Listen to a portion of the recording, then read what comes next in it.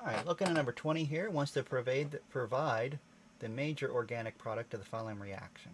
I, um, am building a standard amino acid. Um, this is a very standard setup. We have our ring with the nitrogen here and the potassium. Um, steps 1, uh, uh, 2, and 4 are exactly the same. The only thing that ever really vary, uh, the variety is with this guy that's attached to the bromine. And what is important about that, that particular fragment is going to stay intact. It's attached to the middle location of our amino acid that's being built in this. Uh, the only thing to remember is our amino acid will be fully protonated because step 4 has that acid. Um, but it's a, a, very standard synthesis of an amino acid. The only thing that really changes is that purple thing.